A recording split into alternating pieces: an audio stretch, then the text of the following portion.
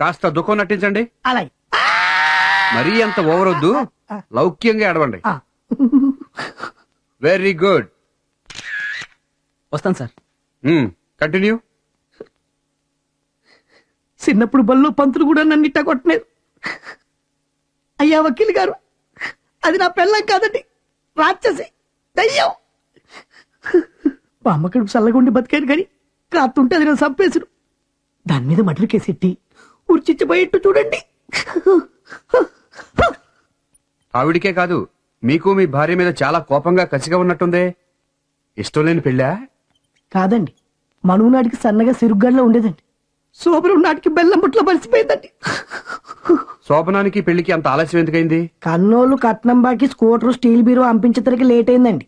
చేప చేప ఎందుకు బలిచావని అడగలేదా? అడిగారండి. మీ మీద పెంగండి అందండి. డాక్టర్ చూపించలేదా చూయించారండి.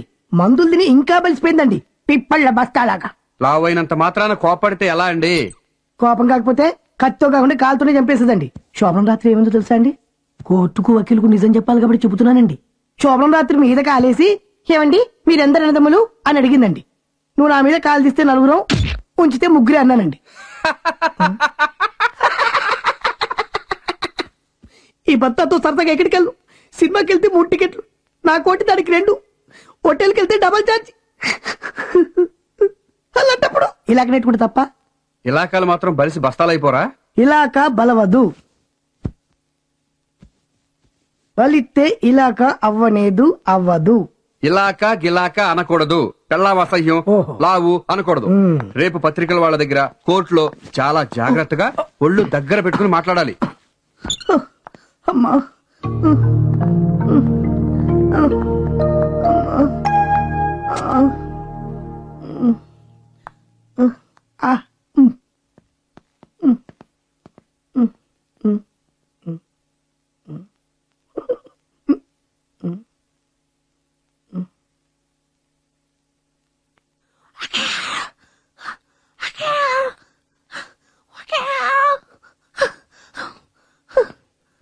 నేను సాయంత్రం వచ్చి మళ్ళీ పూర్తి స్టేట్మెంట్ తీసుకుంటాను.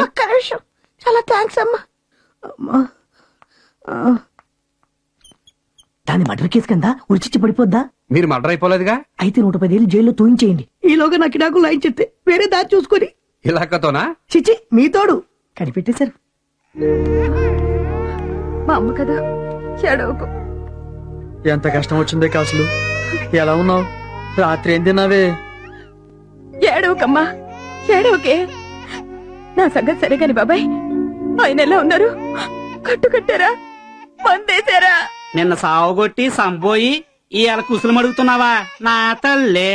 ఎందుకు చంపకూడదయ్యా నా మొగుణ్ణి ఆ దయ్యం వల్ల వేసుకుంది. మందెట్టింది. దాన్ని మరిగి నా కోపరంలో నిప్పులు పోశాడు నాకిద్దరు బిడ్డలు తెలుసా? వాళ్ళు నోళ్ళు కొట్టి నా నోరు కుట్టి దాచిన డబ్బంతా. నేను ఏడిస్తే ఇది ఏడిసి బట్ట తడిపెత్తది బాబాయ్. అలా బయట పోయించి తీసుకురా. నా బిడ్డలు నోళ్ళు కొట్టి నేను దాచిన డబ్బంతా దోచుకుని దాని పాలు చేశాడు. నా గాజులు నా గొలుసు కాసుల పేరు అన్ని దోచి దాని ఎదర పోశాడు. అసలు అన్ని సంపాలే నరకాలా? అవును సంపాలనే కొట్టాను. నా మంగళాస్త్రం బలంగా ఉండి బతికాడు గాని సంపిన పాపం లేదు. షూ చంపుతాను నరుకుతాను అలాంటి మాటలు అనకూడదమ్మా. ఎందుకు అనకూడదమ్మా ఆడలాంటి పాపిష్టి పనులు చెయ్యొచ్చా అదే పాడు పని ఆడది సెత్తే చిచి అయ్యం పాడు మాటలు?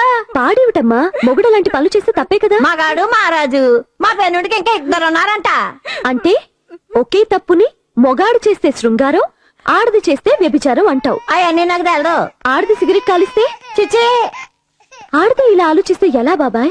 నువ్వెంత చెప్పు? ఇది మా గాడి రాజ్యమేనమ్మా. కాసులు నువ్వు భయపడకు. నిన్న దేవుడే కాపాడతాడు.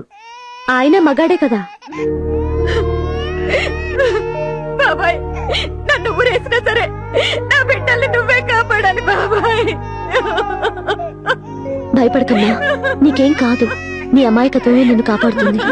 నేనున్నాను. భయపడకమ్మా.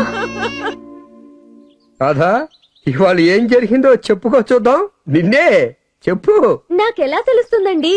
పొద్దున్న పేపర్లో చూడలా కాసులమ్మనే ఒక మహా ఇల్లాలు వరహాలరావు అనే పతిదేవుడు చావుగొట్టి చెవులు మూసింది. ఆమెను అరెస్టు చేశారు. హత్య కేసు. రేపే. ఏపీపీ శ్రీ వేణుగోపాలరావు గారిచే ప్రాసిక్యూషన్. మిస్టర్ ప్రాసిక్యూటర్ గారు మొగుడు పెళ్ళాలు కొట్టుకుంటే అది డొమెస్టిక్ వైలెన్స్ సంసార దౌర్జన్యం కింద వస్తుంది. దాన్ని కోర్టు పోలీసులు ఎలా బుక్ చేస్తారు? My dear young thing domestic violence అంటే భర్త భార్యని కొట్టడం. అది హోల్ వరల్డ్ అంతా మామూలే. కోర్టులు దాని జోలికి పోవు. కానీ భర్తని భార్య కొడితే అది న్యూస్. న్యూసే కాదు కేసు కూడా. నాన్ సెన్స్ నేను ఒప్పుకోను. ఆడదానికో చట్టము మగాడికో చట్టమునా? ఆల్ ఆర్ ఈక్వల్ కదా?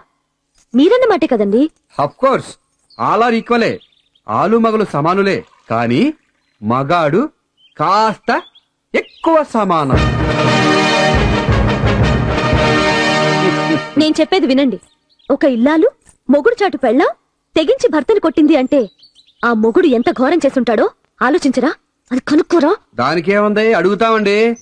కానీ వాడు ఎంత ఘోరం చేసినా ఒక ఆడది అలా కొట్టి చంపేయడమేనా? No. But she can't take law into our own hands ముందు పోలీసు రిపోర్ట్ ఇవ్వాలి.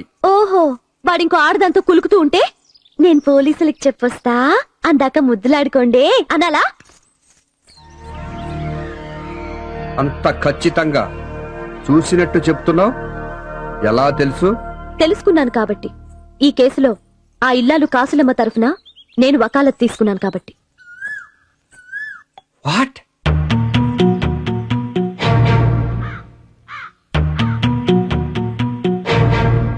వాట్? ఎస్ నేను అసిస్టెంట్ ప్రాసిక్యూటర్ని రాధా. రేపు నేనే ప్రాసిక్యూట్ చెయ్యాలి అది తెలుసా? ఇప్పుడే తెలిసింది. ఓహో! తెలియక కేసు తీసుకున్నావా? గుడ్ ఓకే ఇప్పుడు తెలిసిందిగా? వదిలే. థ్యాంక్ యూ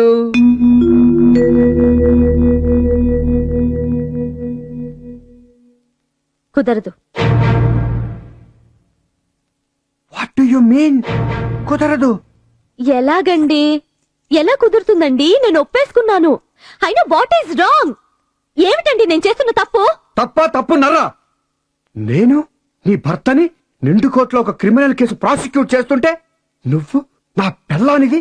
నన్నే ఎదిరిస్తావా? నీకెంత ధైర్యం? నేను పోనీ పాపని లాయర్ని చేస్తే నన్నే ఖండిస్తావా? సంగతి చెప్పినా కూడా కాదంటావా?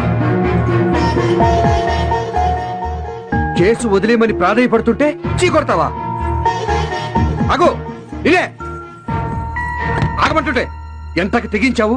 నువ్వు ఆడదాని వేరా ఇల్లాలివేనా? నీకు మొగుడంటే భయం భక్తి లేదా?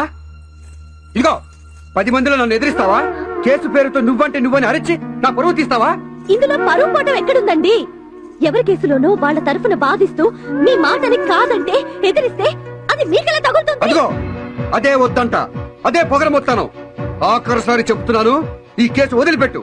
లేకపోతే చాలా దూరం వెళ్తుంది. గుర్తుంచుకో after all you are my wife. నా పెళ్ళానివి. జాగ్రత్త!